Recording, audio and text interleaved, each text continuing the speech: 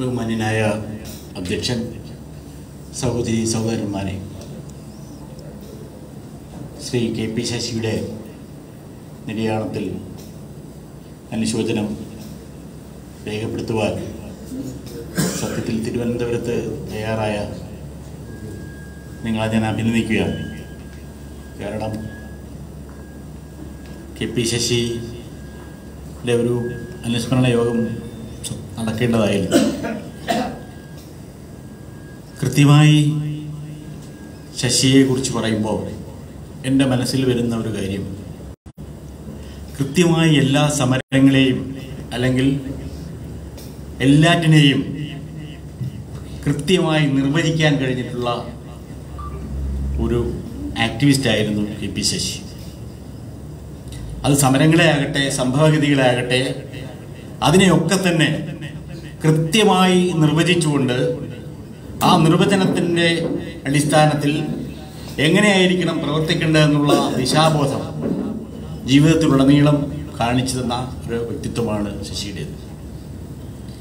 എല്ലാ സമരത്തിലും ശശി പ്രതിക്കൂട്ടിൽ നിർത്തിയിരുന്നത് ഭരണകൂടത്തെ ആയിരുന്നു അതിനപ്പുറത്തേക്ക് ഇന്ത്യൻ ഭരണകൂടത്തെ മാത്രമല്ല അമേരിക്ക അമേരിക്ക എന്ന് പറയുന്ന ഒരൊറ്റ ഓ ഇതുണ്ടല്ലോ. ആൽബം. ആ ആൽബം. അതിലത്തെ ലിറിക്സ് അത് മാത്രം മതി. ആരാണ് ഈ ലോകത്ത് ജനങ്ങൾക്ക് ശത്രു എന്നുള്ളതിനെ സംബന്ധിച്ച് മനസ്സിലാക്കുന്നത്? ഒരു ഒരു മീഡിയ പ്രവർത്തകൻ മാത്രമായിരുന്നില്ല ശശി.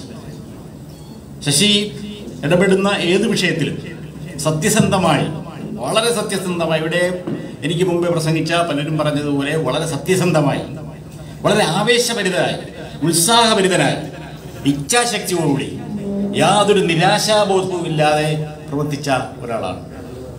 കാരണം സ്വകാര്യ സംഭാഷണങ്ങൾ പലപ്പോഴായിട്ട് ശശിയുമായി ഞാൻ നടത്താൻ നടത്തിയിട്ടുണ്ട്. സാവു കെ ദാമോദരന്റെ മകനാണ്. ഒരുപക്ഷെ നിങ്ങൾക്ക് എല്ലാവർക്കും അറിയാം ഇന്ത്യൻ കമ്മ്യൂണിസ്റ്റ് പ്രസ്ഥാനത്തിന്റെ ഇന്ത്യ കേരളത്തിലെ ആദ്യത്തെ കമ്മ്യൂണിസ്റ്റ് ആയിരുന്നു സാവു കെ ദാമോദരൻ കെ ദാമോദരന്റെ മകനാണ് കെ കെ പി ശശി. എന്നാൽ ശശി കെ പ്രദേശാസ്ത്രത്തെ പ്രത്യയശാസ്ത്രത്തെ പിന്തുടരുമ്പോൾ കെ ദാമോദരന്റെ പാർട്ടിയുമായി അങ്ങനൊരു അടുപ്പമോ പാർട്ടി മെമ്പർഷിപ്പിനോ ഒന്നും വന്നിട്ടില്ല. ആ പ്രത്യയശാസ്ത്രത്തെ കണ്ടുകൊണ്ട് ആ ലോകവീക്ഷണത്തെ അടിസ്ഥാനപ്പെടുത്തി അതാണ് പ്രധാനം. ആ ലോകവീക്ഷണത്തെ അടിസ്ഥാനപ്പെടുത്തിയാണ് ശശിയുടെ പ്രവർത്തനങ്ങളെല്ലാം നടന്നിട്ടുള്ളത്. ഞാൻ ഓർമ്മിക്കുകയാണ് പ്ലാച്ചിമട സമരം നടക്കുമ്പോൾ ആ സമരത്തിൽ ഇവർ ശരത്തും ബാബുരാജും നമ്മുടെ അജിത്ത് പിന്നെ ദേശമംഗലം മുസ്തഫ മുസ്തഫ ദേശമംഗലം ഇവരൊരു ടീമായിട്ട് ഇവിടെ വന്നിരുന്നു.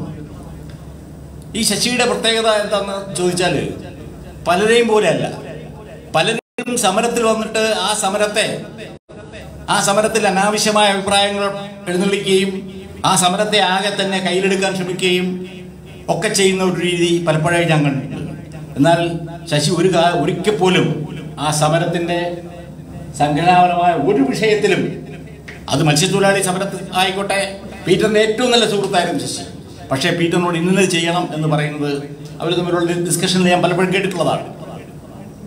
അതുപോലെ തന്നെ പ്ലാച്ചിമയുടെ സമരമായാലും ശരി എൻഡോസൽഫാൻ സമരമായാലും ശരി ആ സമരങ്ങളിലൊന്നും തന്നെ അകത്ത് അതിന്റെ കണ്ടന്റിൽ അതെങ്ങനെ ആയിരിക്കണം എന്ന് പറയുന്ന രീതി വരില്ല. പക്ഷേ ശശി കാണിച്ചു കൊടുക്കും അത് ഇന്നത് രീതിയിലേക്ക് ഈ സമരത്തിന് ദിശാബോധം പോകണം എന്നുള്ളത് ആ മീഡിയ വർക്കിലൂടെ കാണിച്ചു കൊടുക്കുമായിരുന്നു. കൃത്യമായി കാണിച്ചു കൊടുക്കുമായിരുന്നു. നല്ലൊരു ഒന്നാം തരം ഒരു ക്യാമ്പയിനാണ് ഒന്നാം തരം ഒരു പ്രോപ്പഗാനിസ്റ്റ് നിരാശ ബാധിക്കാത്ത ഒന്നാം തരം ഒരു ആക്ടിവിസ്റ്റ് ഒരിക്കൽ പോലും ഞാൻ പലപ്പോഴും ആലോചിച്ചിട്ടുണ്ട്. ശശി വളരെ ജീവിതത്തിന്റെ ജീവിതത്തിൽ നേരത്തെ ഇവിടെ പറഞ്ഞതുപോലെ ഇന്നതാകണം അല്ലെങ്കിൽ പോക്കറ്റ് നിറയെ കാശ് വേണം എങ്ങനെ ജീവിക്കും എന്നൊന്നും ആലോചിക്കാത്ത ഒരു ഒരു പ്രകൃതക്കാരനായിരുന്നു. അത് സാധ്യമാകണമെങ്കിൽ തീർച്ചയായും ഒരു വാക്ക് ആത്മീയത കടന്നു പോകുമ്പോൾ എനിക്ക് സംശയമുണ്ട്. നിഷ്കാമ ആയിട്ടുള്ള അല്ലേ? അങ്ങനെയൊക്കെ ഒരു വാക്ക് വേണമെങ്കിൽ പറയാം. അത്തരം പ്രവർത്തകർക്ക് മാത്രമേ കഴിയുള്ളൂ. അത് ഞാൻ കണ്ടിട്ടുള്ളത് പലരെ പല വലിയ വിശ്വപൗരന്മാരിൽ നമ്മുടെ ചെകുവേല എങ്ങനെയായിരുന്നു? ഒരു ലോകമേ തറവാട്. ക്യൂബയിലാണ് അദ്ദേഹം വന്ന് വിപ്ലവം നടത്തിയത്. അതുപോലെ ഒരു പ്രദേശത്ത് നിന്ന് വേറൊരു പ്രദേശത്തേക്ക് പോയി. കൂടംകുളത്ത് പോയി. പ്ലാച്ചുപട വന്നു. കാറ്റങ്ങാട് പോയി. ഇങ്ങനെ ലോകം മുഴുവൻ സഞ്ചരിക്കുകയും സമരത്തിന്റെ സന്ദേശം അപ്പാടെ പ്രചരിപ്പിക്കുകയും ചെയ്തുകൊണ്ട് ഭരണകൂടത്തെ പ്രതിയിലാക്കുന്ന പ്രതിയാക്കുന്ന രീതിയിലേക്ക് പോവുക. ഒന്നാം തരം ഒരു ഹ്യൂമനിസ്റ്റ് ആയിരുന്നു. ഒന്നാം തരം ഒരു ഹ്യൂമനിസ്റ്റ് അതുകൊണ്ടാണ് ഇവിടെ പറഞ്ഞത് അബ്ദുൽ നാസർ മദനിയുടെ മോചനത്തിന് വേണ്ടിയുള്ള പ്രവർത്തനങ്ങളിൽ വലിയ നെറ്റ്വർക്ക് അദ്ദേഹം നടത്തിയത്. എനിക്ക് അതുപോലെ അത്തരം ഒരു നെറ്റ്വർക്ക് നടത്തിയ ഒരാളിനെ ഒരുപക്ഷെ കാണാൻ കഴിയില്ല. ഞാൻ ഏറെ കൂടുതലായി പറയുന്നില്ല. ശശിയുമായിട്ടുള്ള ഒരു ബന്ധം അങ്ങനെ ഒരു വൈകാരികമായി ഒരു ഏറെ അടുപ്പമായിട്ടുള്ള ഒരു ബന്ധം ഞങ്ങൾ തമ്മിലില്ല. പക്ഷെ ഫോൺ സംഭാഷണങ്ങളിലുണ്ട്. ഒരുപാട് കാര്യങ്ങൾ എനിക്ക് ചില മെറ്റീരിയൽസ് വേണമെന്ന് പറയുമ്പോൾ വായിച്ചു തന്നിട്ടുണ്ട്. സോഷ്യൽ മീഡിയയിൽ സജീവമായിരുന്നു. മീഡിയ അദ്ദേഹത്തിന്റെ ഒരു കയ്യിലൊരു വലിയൊരു ആയുധമായിരുന്നു. People's action against communalism P S C അത് നിങ്ങൾക്ക് അത് ആ ഗ്രൂപ്പ് വാട്സപ്പ് ഗ്രൂപ്പ് ഫോളോ ചെയ്ത് കഴിഞ്ഞാൽ എങ്ങനെയായിരിക്കണം കമ്മ്യൂണലിസത്തെ നേരിടേണ്ടത്? വർഗീയതയെ എങ്ങനെ നേരിടണം എന്നുള്ളതിന്റെ കൃത്യമായ ആയുധം നമുക്ക് കിട്ടും. അപ്പം അതാണ് ഞാൻ പറഞ്ഞത് മീഡിയയെ കയ്യിലെടുത്തുകൊണ്ട് അതിങ്ങനെ ഇങ്ങനെ ഇങ്ങനെ വളരെ എന്താ പറയണത്? നിസാരമായി കാര്യങ്ങളെ. ഭയങ്കരമായിട്ടുള്ള പ്ലാച്ചുമട സമരത്തിന്റെ ഒരു ഘട്ടത്തിൽ ഞങ്ങൾ തീരുമാനിച്ചു കല്ലെറിയാൻ തീരുമാനിച്ചു. രണ്ടുപേരെ തീരുമാനിച്ചിരുന്നു. അപ്പോൾ എന്നോട് പറഞ്ഞു അതെപ്പോഴായിരിക്കും അത് എപ്പോഴായിരിക്കും സംഭവിക്കാന്ന് ചോദിച്ചു. അത് ഇന്ന സമയത്തായിരിക്കും. എന്ന് പറഞ്ഞു അപ്പോൾ ഒരഭിപ്രായം പുള്ളി പറഞ്ഞില്ല. ഒരഭിപ്രായം പറഞ്ഞില്ല. രണ്ട് കല്ല് വന്ന് വീണു ഇവർ ഷൂട്ട് ചെയ്യുകയും ചെയ്തു. അതുകൊണ്ടാണ് ആ കമ്പനിയുടെ അന്ത്യകർമ്മം നടക്കുന്നത്. കാരണം ഒരു മെസ്സേജ് ക്ലിയർ മെസ്സേജ് കൊടുത്തതാണ്. അപ്പം ഞാൻ പറഞ്ഞു വരുന്നത് ശശി കെ പി ശശി പ്രത്യയശാസ്ത്രപരമായി ഒരു ആക്ടിവിസ്റ്റ് എന്ന് പറഞ്ഞാൽ മരത്തിന്റെ കമ്പ് മുറിക്കുന്നത് പരിസ്ഥിതി പ്രവർത്തനമായി നടക്കുന്ന ആളുകളുണ്ട്. ഒരു മരത്തിന്റെ കമ്പ് മുറിച്ചാൽ അതാണ് ഏറ്റവും വലിയ പരിസ്ഥിതി പ്രവർത്തനം. അതിനെതിരായി പ്രതികരിക്കുക. പരിസ്ഥിതിയുടെ രാഷ്ട്രീയം പാർശ്വവൽക്കരിക്കപ്പെട്ടവരുടെ രാഷ്ട്രീയം മത്സ്യത്തൊഴിലാളി സമരത്തിൽ ഇടപെടുമ്പോൾ ആരാണ് അതിന്റെ യഥാർത്ഥ പ്രതി?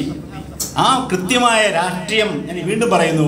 ആ രാഷ്ട്രീയം നിർവഹിക്കുകയും ആ രാഷ്ട്രീയ നിർവചനത്തെ തന്റെ പ്രവർത്തനത്തിൽ കൊണ്ടുവരികയും അത് സന്ദേശമായി ഉയർത്തുകയും ചെയ്ത വ്യക്തിത്വമാണ് Sasi K P Sasi.